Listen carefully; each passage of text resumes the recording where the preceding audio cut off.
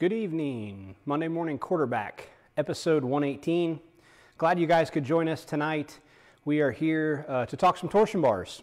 so, as I was kind of looking through what some of our more popular Monday morning quarterbacks were and some, some that we could dive a little deeper into, torsion bars was definitely one uh, that seems to have the most views on our YouTube page. And uh, we did a two part um, segment back in 2018, so it's been um, a couple years. And so I figured we could dive in, talk torsion bars a little more in depth. As always, answer all of your tech questions as well.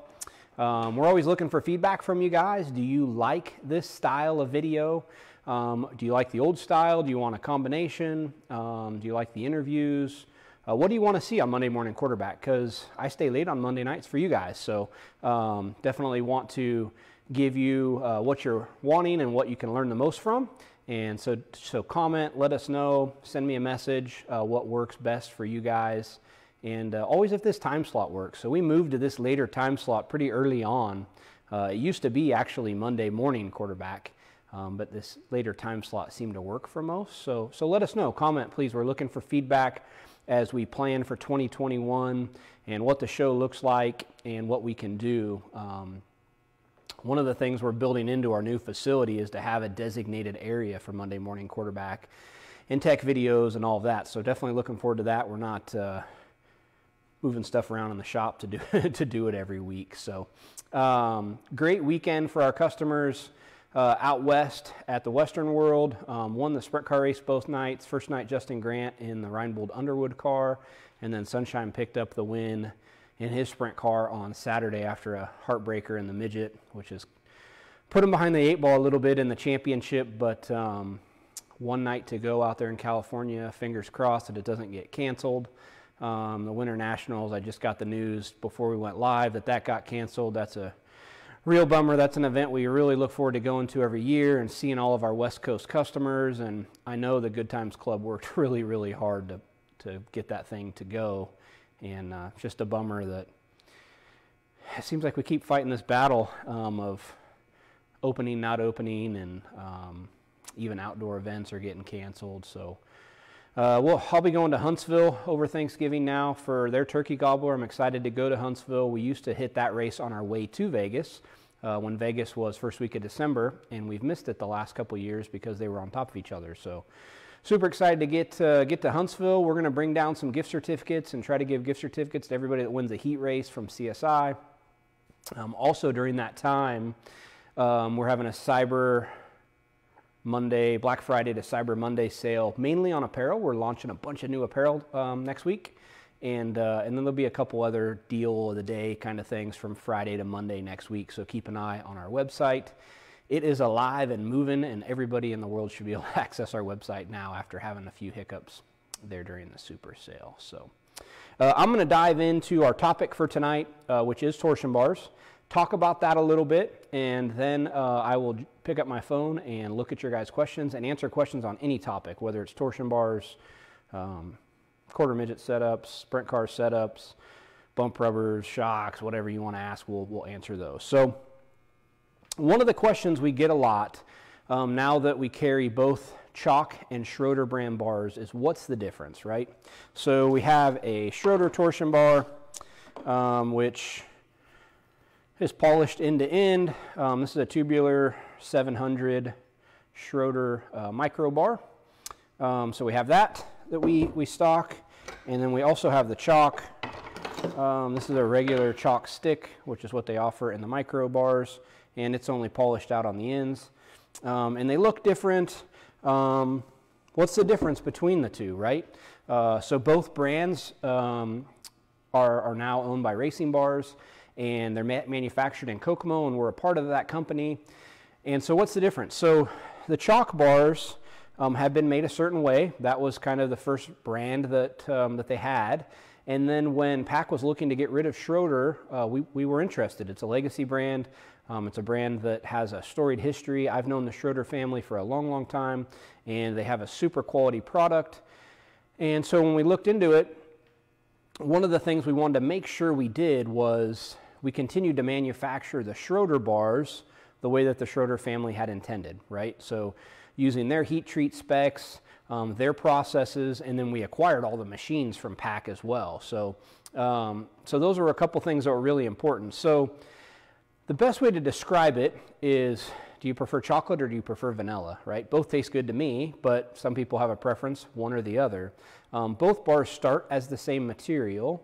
However, the heat treat process is slightly different. Chalk's recipe is one way, Schroeder's is the other. Um, when we dyno them, the chalk bars seem to usually have just a little bit more rebound than a Schroeder. Some people swear that feels better, some people swear the Schroeder feels better. Um, what I've told people is if your program's been built around one brand of bar, and you're happy with it, um, stick with it because changing is going to get the balance off a little bit. And I certainly don't recommend running a chalk in one side and a Schroeder in the other. You should be all in with one brand or the other, okay? So that's kind of the differences between the two brands. A couple other things I want to point out on torsion bars, and I'll use the chalk bar for as an example because it's um, the easiest to identify, is so micros, the effective length is, is the same across most brands. Okay, I haven't checked the new uh, DMI effective length, but I would assume it's similar. When you get to the sprint car bars, they have both a 23 and a 24 inch effective length. And what I mean by the effective length is that's the turn down area of the bar. Okay, so a different effective length will give you a different overall spring rate. So on a sprint car bar, um, Schroeder has a, an E23 and an uh, E24. So um, you'll, you'll want to pay attention to that if you're switching from one brand to the other because you might get a slightly different rate depending on uh, the effective length you have, okay? So that's one important thing uh, to keep in mind is what is the effective length of your bar. Um, another thing that's really important with your overall spring rate is the, the arm length, and I can show you that on the bar dyno. Um, based on how long your arm is, that's what your effective spring rate is going to be. So what I mean by that is, um, this is our Maxwell bar dyno, is how long is the arm from the center where it picks up uh, on the, at the torsion bar to the center of the pickup at the bird cage. Um, typically that would be a rod end sticking out on your bird cage. The length of that arm plays a great effect in your overall spring rate, okay? The last thing to really think about is how stiff your torsion arm is. So if you have an arm that's really pocketed out and really light, there'll be a lot of deflection in that arm. And so not all of the energy from the torsion bar will be applied um, to the tire or to that corner of the car. So um, there's stiffer and softer torsion arms.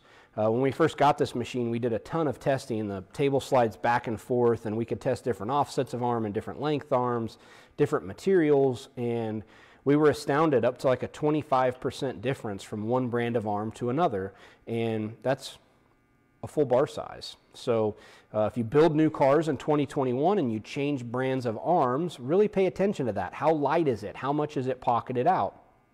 Um, because if you're running an inch bar and all of a sudden you go to a, a newer style arm that's not pocketed out as much um, and it's a stiffer arm, now your inch bar might feel more like a 1015 or a 1025. So those are some important things to think about as you move into next season and potentially change some of the equipment. Um, so again, this is our Maxwell bar dyno. If you purchase bars from us, we will dyno them um, if you tell us what corner um, it goes on. Um, and we can also dyno um, used bars. So we do we dyno about 2,000 bars a year uh, across this machine between new ones and used ones. And um, we have a, just a ton of data since we've done so many bars. We've had this machine for uh, almost nine years. So uh, we've dynoed tens of thousands of torsion bars and we got a lot of data as far as what an inch should be, what a 975 should be, etc. Um, so those are some of the important things to consider. Um, one last thing I'll touch on before answering your questions is we get asked all the time, how long should a torsion bar last? Well, it's really a loaded question. It depends on how smooth or rough the track is. If you um, crashed at all during that period and your, your bar saw some trauma. Um, I always tell people if you flip and it breaks a stop or an arm, don't run the bars. Put new bars in, okay?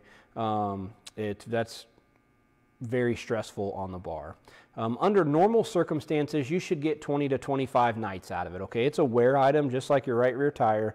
The biggest difference is you can't see when this wears out like you can your tire. Now, if you dyno it, um, and we, we and look very closely at it, you can see where it starts to slow down on rebound and it's not working quite like a new bar. So when these bars start to go bad, they don't necessarily get softer, they just don't react as quick. So it's not going to be as positive of a reaction to turns in the stop, um, and it's not going to be as positive, positive of a reaction on the racetrack. It's not going to return to center quite as quick. So I'll jump back over here, pick up my phone, and look to see what questions I can answer uh, for you guys. Uh, Heath, good evening. Rick, hello. Chad, can you see where Brad works? Well, the question's still out if Brad actually works. So uh, we call him Pockets, and um, maybe we'll do a Monday morning quarterback with Pockets sometime. He would he would love that. He's great in front of the camera. Ryan, yeah, you're getting you got a few more days to get your stuff ready. I'm ahead of the game. uh, cars are at Excalibur getting lettered, and we were ready to put them in the trailer Thursday night and head to Vegas. Now we have a few more days um, to get ready for Huntsville. Oh, Rick, you're going to Huntsville. Awesome. Look forward to seeing you there. Um, super cool track, and um, sad to not be going to Vegas, but we're excited to be going there. Uh, mongoose, mongoose. Ugh. Difference between hollow and solid. So pretty much everybody runs a hollow bar now, um, and that's a good good thing we should talk about is hollow versus solid. So when torsion bars first became um, the suspension of choice in midgets and sprint cars, everything was hollow. So a one inch diameter bar actually measured one inch across the effective length. Okay, and when they went to a hollow bar, rather than measuring, giving you the actual measurement of what the bar is, they determined what that diameter needed to be so it had the same spring rate as a one inch solid. So nowhere across the effective length will it measure one inch on a hollow bar. So this is a 700. It's not going to measure 700 anywhere because this diameter is the equivalent of a 700 solid. Um, I had a customer last week that's like, man, we've gotten so far advanced in shocks. When are we going to get there with bars and quit calling them a dimension they aren't anywhere across there? And I agree, right? Like we should just call it by the actual spring rate, and um, and maybe we'll get there, and, and maybe I can lead that charge. Um, we could we could tell you what the actual spring rate is. So. Uh, hollow bars is pretty much what everybody runs, unless you're running really, really small diameter bars and it's not um, prohibitive to make a hollow bar. Hollow bars react quicker, um, they're lighter, um, they're just 21st century race car part. I feel like a solid bar is something that should go on a tractor. Um, I know though, Jim, in some of your applications, you might be using three quarter inch on some of your 270s and, um, and some of those real small three quarter inch bars, you have to go solid. You just can't get small enough. Um, Hannigan, odd or even? Well, I picked odd last week and I lost, so even. Um, Martin Edwards, is bar sag a lack of rebound or is that compression going soft? Um, typically, if you, if you bounce the car and it, and it sags, um, I would say it's not returning back to center quite as quick. Um, when we dyno bars, and I said again, we've dynoed tens of thousands of them, your overall spring rate usually doesn't get softer when a bar gets old. It just rebounds a lot slower. Maybe it's not rebounding all the way if it's really wore out. Um, so that's what I would say it is. If the car's still winning, do we change the torsion bars? Uh, good question, Paul. Um, if your setup's good and you, you feel great and you don't think your bars have seen any trauma, there's probably no need to change them.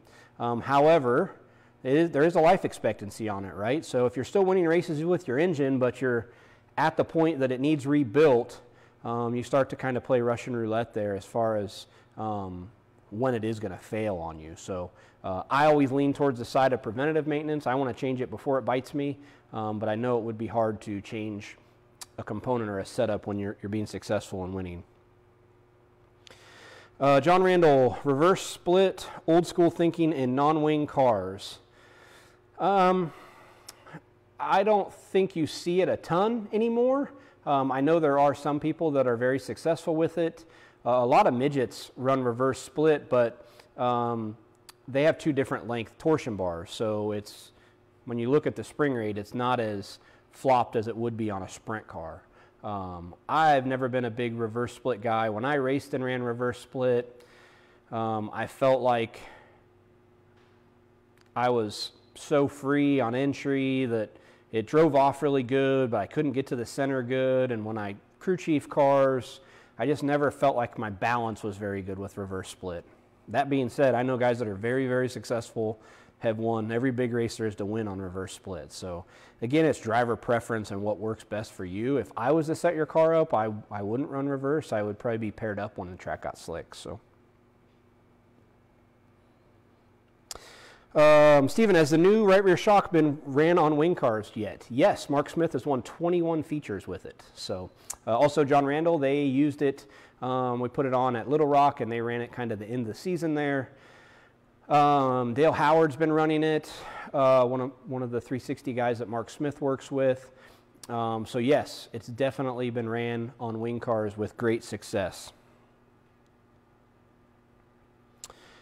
Um, Scott, I haven't dynoed any of the titanium arms. However, knowing that material, um, I would say very good, right? So very little deflection, um, especially if you're going from an aluminum to a titanium arm. Um, super positive, very little deflection.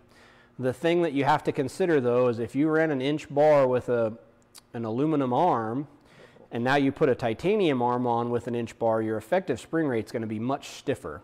So you're going to have to adjust your torsion bar rate to get the, the same rate you had in the past if that was a good balance for you. But the titanium arms are awesome. Um, I thought about doing that years ago, uh, but I didn't think we could ever sell them for as expensive as they are. But um, some people have done it. Uh, Stevie Smith built some, and they're gorgeous and awesome. And if I was building a sprint car, I would put them on my car.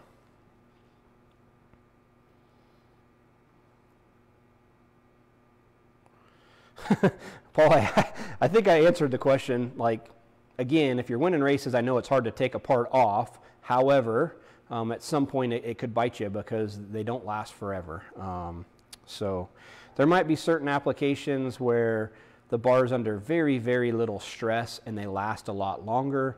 Um, for example, the rear sway bar in a pavement midget, that thing is turned less than 10 degrees at all times where the yield point of that bar is closer to 40 degrees. So it's so far away from the yield point, that bar would last forever. Um, but most dirt applications, we're operating close to or at the yield point, which damages the bar. So like Northeast Modifieds, they operate at the yield point or above, and they have to replace their bars like every two races, um, just because of the way those cars travel and how hard they are on torsion bars. So. Uh, Chad, do you block the car and the trailer to save the bar or the shock? I definitely do it more so to save the bar than the shock. Um, the shock should be able to see that very low frequency bumping going down the highway. Um, the torsion bar, however, would get a bigger workout. So airbag or a, a wood block, um, definitely recommend. Russ, is there a way to check see if a bars went bad at the track? No, not really. So how we always checked them prior to having torsion bar dynos was with four fixed tires. We kept four tires in the shop. Um, shocks unhooked from the car, block the car, and measure your four corner heights. Use those same tires every week and same bars. And when a corner started to sag, we would replace the bar. Okay, so if your right rear corner height was 13 inches every week, and all of a sudden it's 12 and a half off the same blocks, we would replace the bar. Um, be pretty hard to do at the racetrack, but that's how we would check at the shop. Um, Tyler, lifespan of bars for winged uh, micro outlaw. Um, you're, you're, probably in that 25 race range um, before you should replace them. Yeah. Chase Randall watching. Glad you're uh, feeling okay, Chase. That was a, a digger you had there um, Saturday night. Uh, does anybody else have any questions? Happy to answer them for you.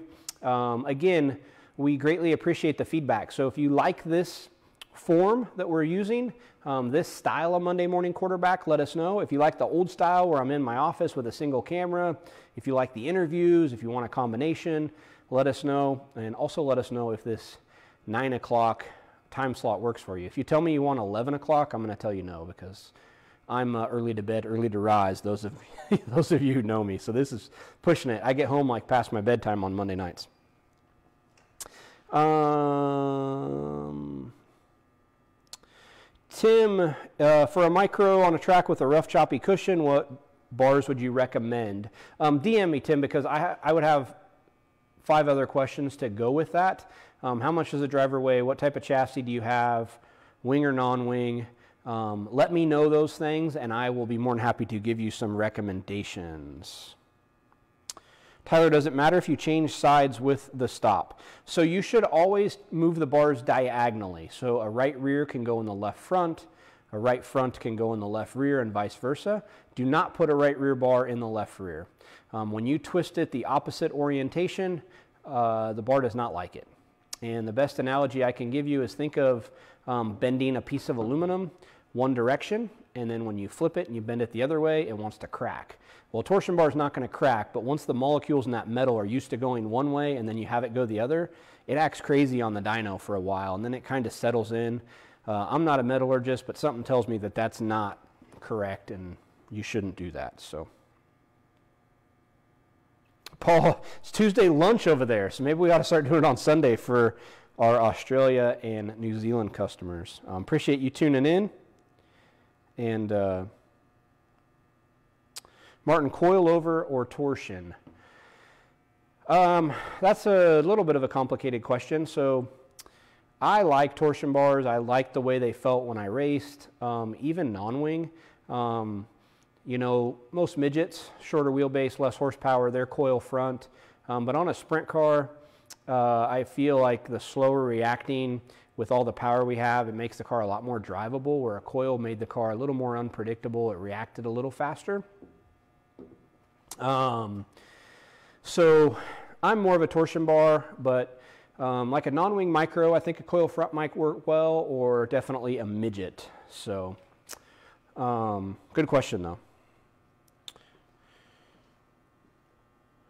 Dave, thanks for tuning in. Dave's out in PA pouring a bunch of seats for guys. Um, we're looking to have Dave on one of the shows we'd like to do is um, on some more safety stuff that Dave can um, lead more insight. Um, if we're going to do more interviews, who do you guys want to see us interview? Um, I want to do Ballou again because everybody loved that, and I totally fouled it up with my phone. And so we'll do Ballou in a more professional manner because everybody loves to hear Robert. Uh, we've done KT, Tim Clauson, Austin from Hyper, Mark Smith, Jake Hagopian. Might be missing somebody. But let us know if you want to hear one of those guys again or you want to hear somebody else. We would love to um, we would love to do it. Hannigan, front torsion bars on a micro, how much can you move the front end back or forward before you change a bar to keep spring rate the same? I can't do the math that good in my head, um, but I guessing probably a quarter to three eighths of an inch of arm length is going to be equal to one bar size, depending on the arm length, but I think right in that window, so not much. Um, Driven wants to see Brad Coleman pockets on Monday morning quarterback. Okay, we're going to get pockets to stay late one week. Uh, Tom, benefits to running a split rack. So short bar fronts is kind of the tweener between a full torsion bar and a coil car. Some guys love it. Um, that was like really popular in the late 90s, early 2000s on the Outlaw Tour. Um, I know there's some micro manufacturers that did it. Um, yeah, I think it's cool. They're lighter, um, and it's kind of in between whether you want to be full bar or a coil. Um, that short bar is kind of in between. Patrick, you want to see uh, Samantha, your wife, who is our shipping and inventory control and boss of everybody um, on Monday Morning Quarterback. If she would do it, we'd have her on. Um, I think people like to see our employees. Maybe we need to do. Maybe we need to get Tyler to do another employee video so we can see some of the new faces here at CSI. Um, Tom Hahn, do you like coil packs on rear shocks? Tom, I assume you're meaning um, like a bump spring.